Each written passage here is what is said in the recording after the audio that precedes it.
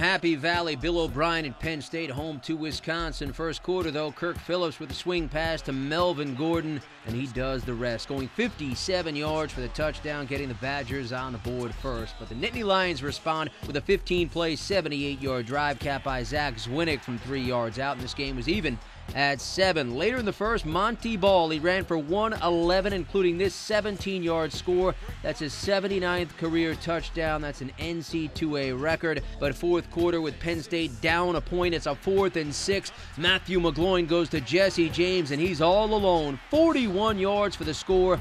Penn State goes up top 21 14. Final half minute, Phillips here finds Jeff Duckworth. It's a fourth and goal, they get the touchdown to send this game to overtime. In the extra session, it was about two field goal kickers. That's Sam Ficken for Penn State. From 37 yards out, it just curls through. Penn State goes up top, so the Badgers need at least a field goal to keep this game alive. That's Kyle French 44 yards away, and this one is shanked. Penn State gets their sixth win in